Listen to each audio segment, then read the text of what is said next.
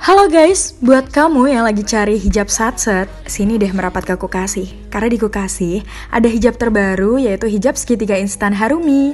Bahannya ini enak banget ya dan didesain dengan double layer. Jadi nggak bakal dia tuh terawang-terawang. Nah, sama seperti Shizuka nih guys.